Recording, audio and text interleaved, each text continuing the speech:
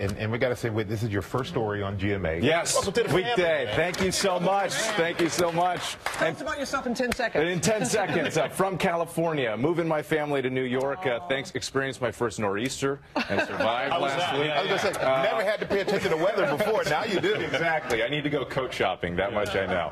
Welcome to the team. Thank you so much. True pleasure.